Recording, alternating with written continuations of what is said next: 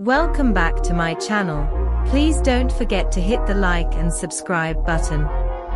Celebrity happy updates from China. Beautiful actress Li Qin looks gorgeous and stunning as she promote Aupres beauty products as brand ambassador on the 2nd of November. Li Qin looks like a fairy in the photo shots. Her studio shared clip and photos of the shot and her live streaming of the beauty products, which is in two part. This is part 1.